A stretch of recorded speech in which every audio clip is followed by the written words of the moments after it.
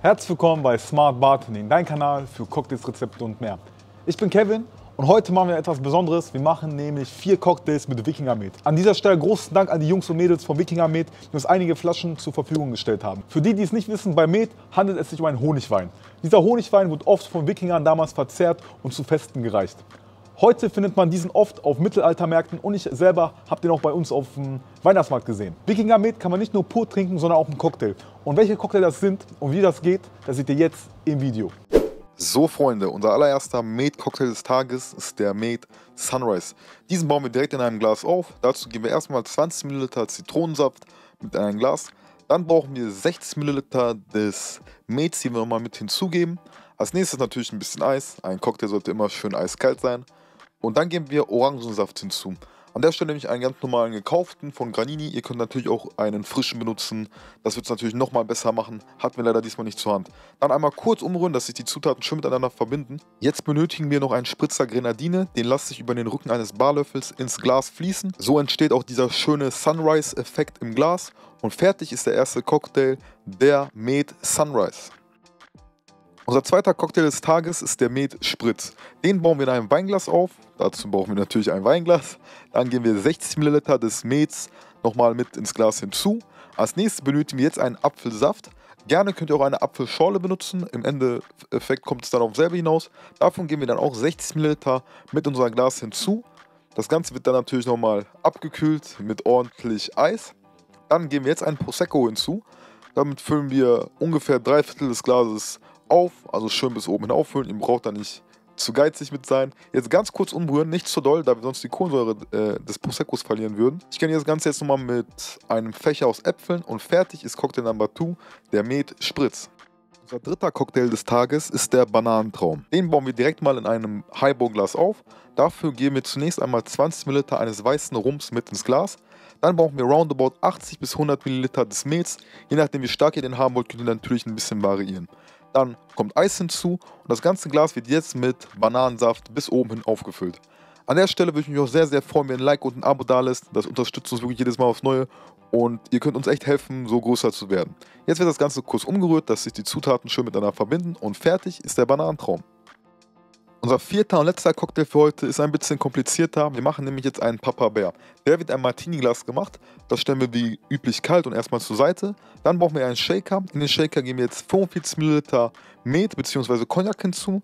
Dann brauchen wir 45 ml des Mets. An der Stelle dann nochmal 20 ml Zitronensaft. Und jetzt nochmal einen ordentlichen Spritzer Honig. Ich habe so roundabout zwei, na, ein Esslöffel ungefähr benutzt. Jetzt alles schön miteinander im Shaker umrühren, dass sich der Honig schön mit den Zutaten verbindet. Denn wenn wir es nur shaken, wird der Honig sich nicht auflösen.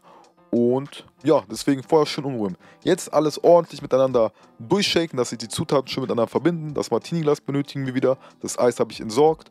Darin seilen wir jetzt den Papa-Bär drin ab. Ich kenne das jetzt nochmal mit einer Orangenscheibe. Und fertig ist Cocktail Nummer 4. Freunde, ihr habt gesehen, für die drei Drinks müssen wir alles nur einfach im Glas aufbauen. Ist kinderleicht gemacht. Nur für den einzigen hier vorne, das ist der bisschen kompliziertere Drink, bauen wir einen Shaker. Ich würde einfach mal sagen, wir verkosten das alles zusammen. Starten tun mit dem hier vorne, das ist der Papa Bär, der wird mit Whisky gemacht. Falls ihr keinen Whisky habt, könnt ihr auch gerne einen Cognac nehmen. Ich würde jetzt einfach sagen, wir probieren mal. Cheers. Der Drink ist schon sehr stark, da wir natürlich auch viel Whisky drin haben. Der Whisky ist auch im Vordergrund, aber man hat dennoch diese schöne Honignote im Hintergrund. Gefällt mir grundsätzlich sehr gut. Ist ein sehr, wie soll ich sagen, ein sehr, sehr maskuliner Drink, sehr holzig, sehr, sehr torfig, aber an sich gefällt mir. Dann kommen wir zum nächsten, das ist der Bananentraum. Was ist da drin? Rum, Wikingermet und Bananensaft.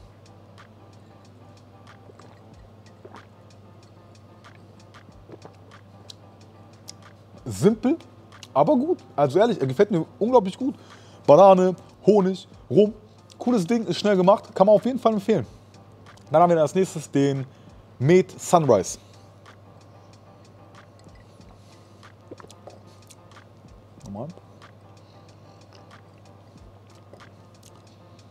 Ich persönlich schmecke jetzt den Met nicht so stark raus.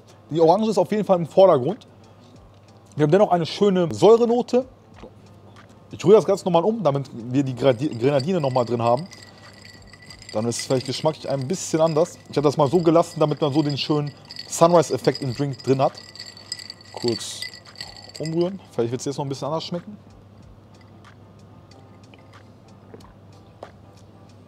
Mhm. Jetzt haben wir die Süße mehr im Vordergrund. Die Grenadine, den Honigwein steckt auch mehr hervor. Serviert ihn auf jeden Fall mit dem Sunrise-Effekt und rührt im Nachhinein um. So hat euer Gast auf jeden Fall ein schöneres, einen schöneren Drink im Auge. Und zum Trinken empfehle ich es euch umzurühren, da wir so die Süße im Vordergrund haben. Und zum Schluss haben wir nochmal hier vorne das der Met Spritz mit Apfelsaft, Met und Prosecco.